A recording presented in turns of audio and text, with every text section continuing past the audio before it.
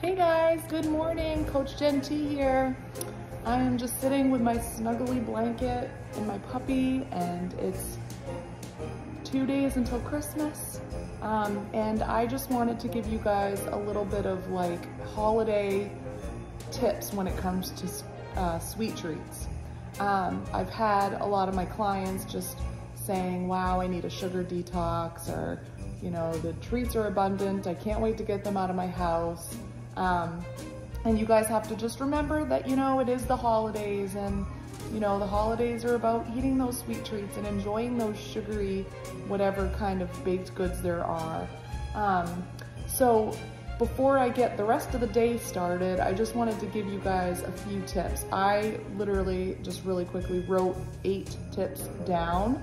Um, and these are ones that help me, but they also are um, some tips that my clients report back to me are working really well for them. So number one is not a sexy way to cut back on sweets, but it's to just eat slowly. So I've mentioned this before, rather than shoveling in the Christmas cookies, eat them mindfully, eat them slowly. This goes for any, you know, you know, trigger food that makes you want to eat more. Um, I will say, you guys, sugar is very addictive. It provides no nutrients um, to your body, but they're very carb heavy and eating them gives you that blood sugar spike and then crash, leaving you wanting more. So eating them slowly, mindfully, really enjoying and savoring the flavors and the textures of whatever kind of sweet treat, whether it's cake, brownies, cookies, um, candy canes, um, just slowing down will allow you to be more satisfied from less, which can be really huge when it comes to trying to cut back on the added sugars. Um, number two is to fill up on the more nutrient dense foods first. So if you haven't eaten all day or if you haven't had enough protein and vegetables and whole well-rounded meals, um, your willpower just completely goes out the window. So making sure that you are filling up the, on those nutrient dense meals makes those treats um, less tempting to overeat.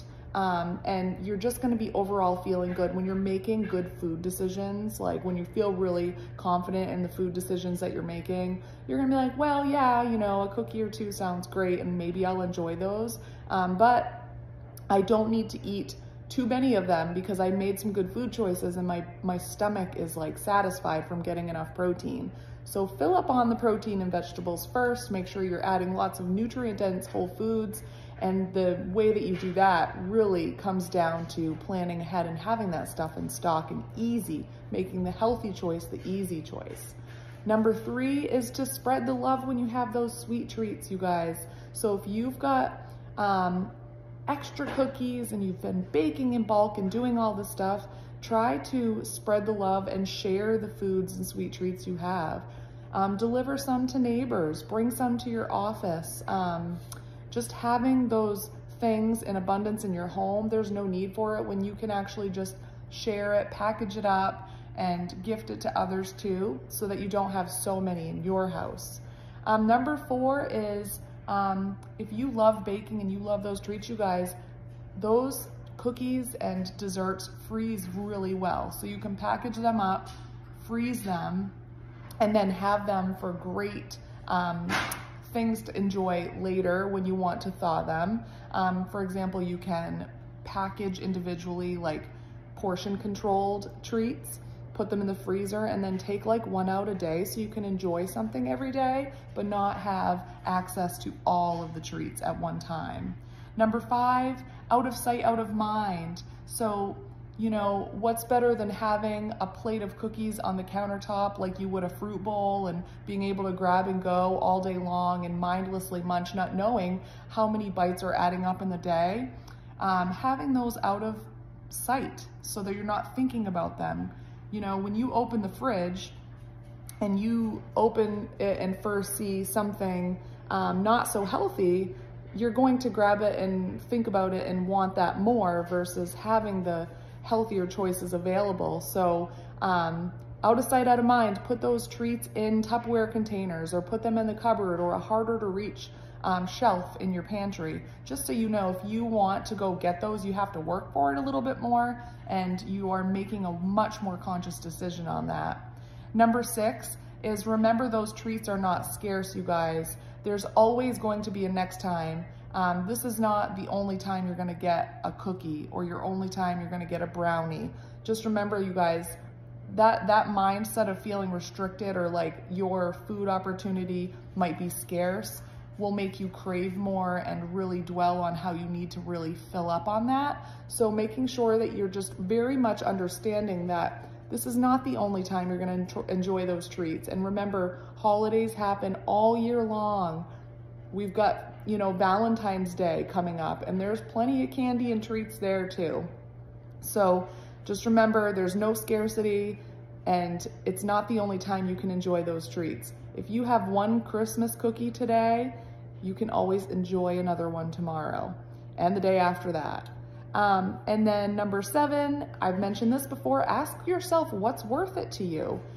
Prepackaged candies are not really worth it to many people because they were made in a factory. They weren't made with love by grandma or your, your aunt and her pie they're not as worth it to you if they are prepackaged. What's worth it to you?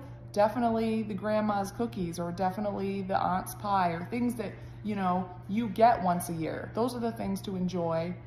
And some things really are just not worth it. So take that time to pause and ask yourself, is this treat worth it? Number eight is to use healthy swaps in baking. And that is the last thing. Um, so if you are doing some baking, you can do some healthy swaps. Maybe not healthy swaps, but better swaps. Um, one would be like substituting natural peanut butter for your more commercialized peanut butter if you have peanut butter in your baking. Um, cacao nibs or Lily's chocolate chips instead of the high sugar chocolate chips. Using mashed bananas um, instead of butter can or mashed avocado instead of butter. You can do that if you're looking for that consistency.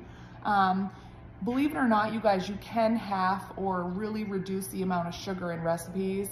Um, you can use the full sugar if you want to, but I've noticed when I'm like baking cookies, if I use less sugar than the recipe calls for, they still come out super delicious. Like you would never even know the difference. So you can reduce the sugar a little bit.